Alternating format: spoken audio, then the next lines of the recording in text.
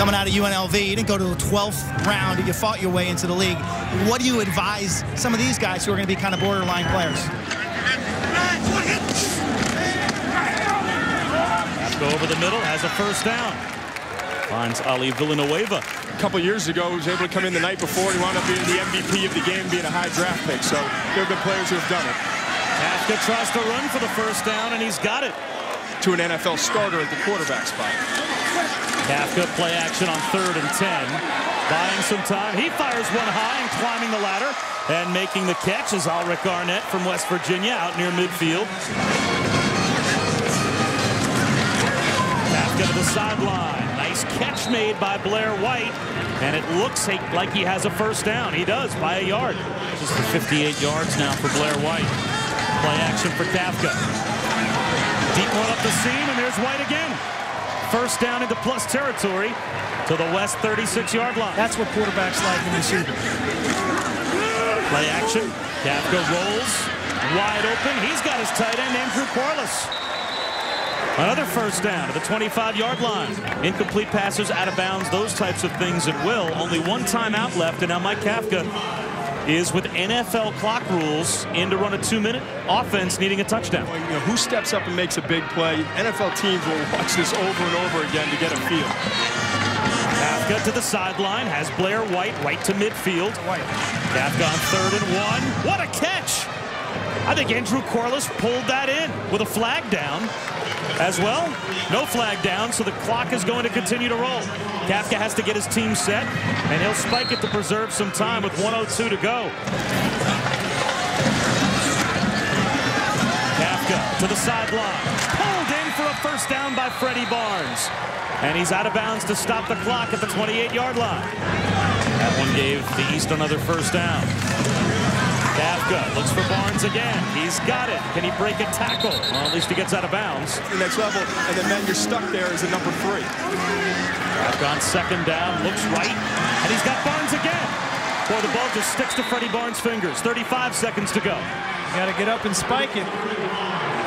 If they want to have the full complement of play calling options, you want to hold on to your timeout.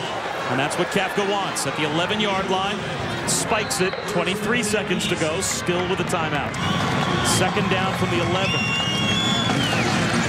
Kafka under pressure, somehow escapes the rush. Down to the five. Kafka down to the three-yard line. And now you have to call your timeout. And Romeo Crennel, about 30 yards himself out on the field, calling the timeout. Boy, you said Marty Schottenheimer wants to win it. I think Romeo Crennel feels the same. the slot receiver's going to run a quick out, and if he likes Freddie Barnes on the weak side, he'll pop it to him. Third down and one from the two. Kafka floats it. Quarless has it. Touchdown.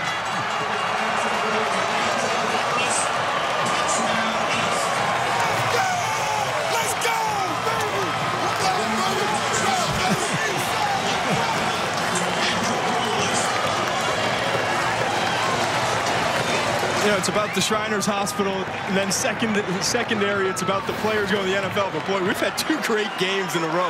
Look at this throw, the decision, you know, over the top of the, the linebacker Carter from UCLA, and Quarless gets the big touchdown with just six seconds remaining. Well, we had a slow start, but a good finish. great touch on that throw by Kafka, and a great drive. Two minutes to get him down there. You guys mentioned the, pro the project that Mike Kafka could be at the next level if someone wanted to take a chance. And I would think from a maturity standpoint, a decision-making standpoint, command of the offense, being only with these players for the past five or six days to run the two minute as effectively as he just did has to show some scouts something. I, I think absolutely. And, you know, it's interesting. We come into this game, Todd Reesing, Max Hall, uh, Daryll Clark, some of the bigger name college quarterbacks. But Mike Kafka, who came on, as you talked about, just one full season as a starter.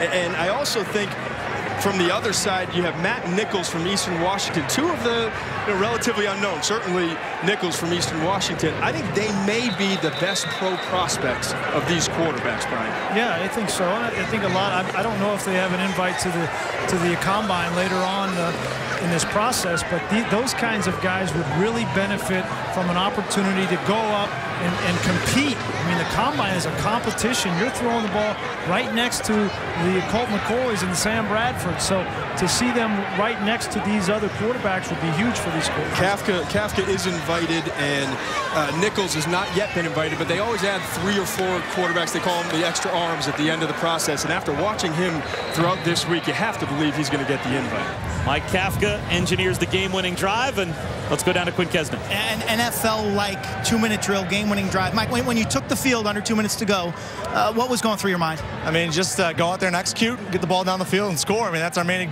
main objective. Uh, how difficult was it for you coming out of the college game to play with the NFL two-minute rules? Uh, I thought it was fairly regular. I mean, the way we play at Northwestern, we're high tempo. I feel like we're always in the two-minute drill, so it's something that comes easy to me. What happened on the touchdown pass? Well, uh, my boy from Penn State made a great, great play. Double move, got him, and got the linebackers to bite down. And he made a great play on the catch and great protection out front. Those guys have been battling. We had a couple series where we didn't really, didn't really have anything going, but the guys held in there, fought up. He was covered fairly well on that play. You, you kind of trusted to put the ball. I trust him. He's a playmaker, man. He goes up and get the ball. He's been doing it all week in practice. So it's one of those things where, you know what, go make a play, win the ball game for us, and congratulations to him. Thanks, Mike. Congratulations. Thank you. Thank you. Bob. All right, Quint, terrific job, and congratulations out to Mike Kafka, Romeo Crennel, and the entire East team. They win the East-West Shrine game over the West, 13 to 10.